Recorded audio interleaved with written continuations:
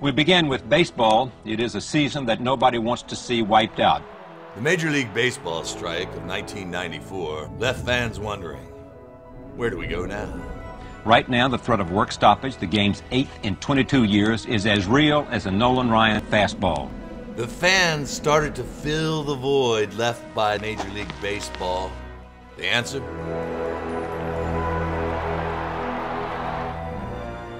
Wiffle ball. Imagine coming down to your last regular season game, you're three homers shy of the record. Did I want to see him break my record? Hell no.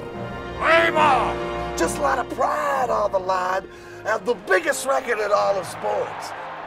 Proud of you, man. Proud of me too, man. We all knew something magical was about to happen, like, like we were going to witness history. I don't know where else to go but up. The Major League Baseball strike ended and play resumed in 95. Ted knew there was only one way to keep people interested in wiffle ball, and that was to break the home run record. No girl wants to sleep with a guy who hits 122 singles, do they?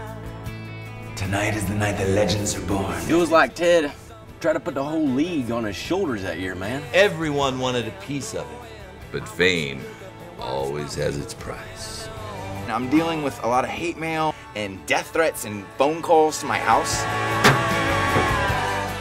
Me, I just saw an athlete that was trying to improve his game.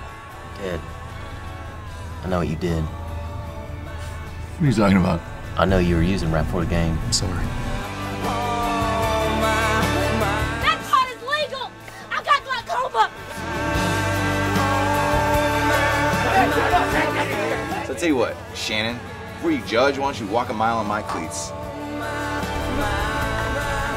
No, Ted, I, I can't take that. I insist.